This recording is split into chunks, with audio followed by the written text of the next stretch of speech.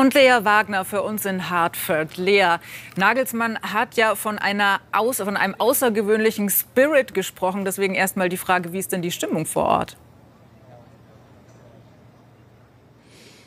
Ja, ich glaube, das trifft es ganz gut. Also die Trainingseinheiten, die wir beobachten konnten, die erste war komplett zugänglich für Medien und die danach immer nur die ersten 15 Minuten. Da hat es schon sehr so gewirkt, dass alle in der Mannschaft extrem motiviert sind und extrem wissbegierig. Also dass man alles aufsaugt, was der ne-, neue Trainer versucht zu vermitteln. Er hat wenig Zeit dafür und umso intensiver waren auch die Einheiten. Es ist Nagelsmanns Debüt. Wir haben eben im Beitrag gehört, der letzte Sieg gegen die USA liegt 30 Jahre zurück. Wie stehen denn dann die Chancen heute? Ja, ein Unentschieden gab es zumindest noch nie zwischen den USA und Deutschland. Und ich meine, 30 Jahre, das ist ja kein wirklicher Vergleichswert. Auch das letzte Gastspiel gegen die USA in den USA ähm, ist schon über zehn Jahre her. Da waren noch ganz andere Charaktere auf dem Platz, beispielsweise Max Kruse damals noch. Ähm, deshalb kann man wahrscheinlich nicht so richtig auf der, aus der bisherigen Bilanz was äh, für heute schließen. Aber ich glaube, die Chancen stehen ganz gut. Zum einen, weil Julia Nagelsmann einen guten Spirit in die Mannschaft gebracht hat. Ich bin sehr gespannt, was heute schon davon zu sehen ist, was er sehen will, was die Spieler schon umsetzen können. Julian Nagelsmann ist ja dafür bekannt, dass er auch gerne mal taktisch überfrachtet. Das bedeutet, dass er die Spieler teilweise bewusst überfordert mit dem, was er sehen will, um einfach jeden bei der Stange zu halten, jeden aufmerksam zu halten. Das hat er versucht, diese Tage nicht zu machen. Das kam so ein bisschen bei den Gesprächen mit den Spielern raus. Thomas Müller hat mir gesagt, er hat das Ganze so ein bisschen eingekocht im Vergleich zu seiner Bayernzeit. Also hat versucht, seine Taktik taktischen Anforderungen so weit äh, weniger komplex zu halten, dass er das eben vermitteln kann innerhalb dieser wenigen Tage, dass wirklich alle verstehen, was er sehen will. Und ich denke, das hat er auch geschafft. Zumindest haben die Spieler, mit denen ich gesprochen habe, das gesagt, dass er schon hohe Anforderungen hat, aber sein Plan sehr, sehr klar ist und verständlich.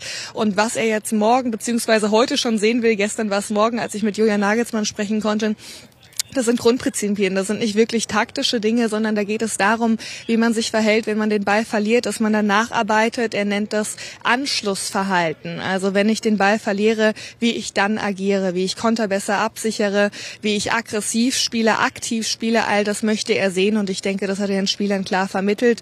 Und dann kommt natürlich dazu, dass er auch selbst wahrscheinlich ein bisschen aufgeregt sein wird. Ich meine, mit seinen ich 36 Jahren sagen, sein Lea. Debüt als Bundestrainer, ja. also er freut sich drauf.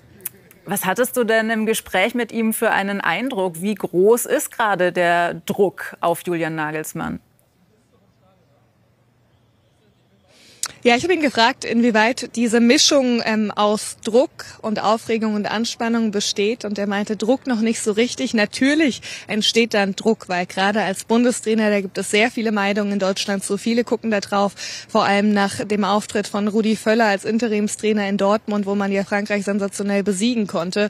Aber jetzt ist es erstmal so, dass er sich freut. Nervosität war gestern noch nicht vorhanden. Er freut sich einfach darauf, weil er auch weiß, was das für eine Ehre ist, dann hier stehen zu dürfen, das erste Mal die National Hymne zu hören und eben als Bundestrainer an der Seitenlinie zu stehen. Ich glaube dennoch, dass es sehr wichtig ist, dass die Mannschaft heute vor allem sehr gut auftritt, begeisternden Fußball spielt und dann im besten Fall auch noch gewinnt. Und da hat Nagelsmann auch gesagt, dass es natürlich die Kombi, die am erfreulichsten wäre, aber auch sehr, sehr gut zu spielen und unentschieden zu spielen oder zu verlieren, wäre auch besser als schlecht zu spielen und zu gewinnen. Also es kommt eben nicht nur auf Ergebnisse an, sondern es kommt auch darauf an, dass die Nation sieht, dass die Fans sehen und eben auch die Mannschaft merkt. Die Spielidee, die der neue Trainer hat, die funktioniert und führt zu erfolgreichem Fußball.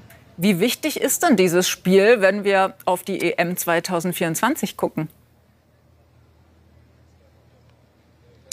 Mats Hummels hat es ganz gut auf den Punkt gebracht. Mit ihm konnte ich vorgestern sprechen und er hat gesagt, Testspiele gibt's eigentlich nicht mehr. Also es sind nur noch so wenige Monate bis zum Start der Heimeuropameisterschaft. Deshalb hat kein Spiel mehr diesen Testspielcharakter. Wir probieren ein bisschen was aus. Wir setzen mal den ein, mal den ein und gucken, wie der so drauf ist oder versuchen taktische Formen, um ein bisschen rumzuprobieren, sondern es geht jetzt wirklich darum, sich Selbstvertrauen zu holen für diese Heimeuropameisterschaft und auch die Fans wieder mitzunehmen. Also da kann man schon sagen, sagen, dass es wichtig ist, was hier heute passiert. Und dennoch muss man sagen, es ist noch weit entfernt. Und auch die Startelf, die heute beginnen wird, wird noch keine Aufschlüsse darüber geben, wie dann letztendlich die Startformation aussehen wird, wenn wir wirklich unser erstes Gruppenspiel dann bei der Europameisterschaft bestreiten. Es ist einfach noch zu lange hin. Da gibt es Leistungstiefs in der Bundesliga immer mal wieder. Dann gibt es Verletzungen. Josua Kimmich heute, den ich schon als Achse betiteln würde unter Julian Nagelsmann, der wird auf ihn setzen. Der fehlt aufgrund einer Erkältung, hat vorgestern beim Training zugeschaut. Gestern ist er komplett im Hotel geblieben. Also mal gucken, was man da schon beobachten kann und welche man Schlüsse, äh, welche Schlüsse man letztendlich wirklich dann auch für die Europameisterschaft ziehen kann.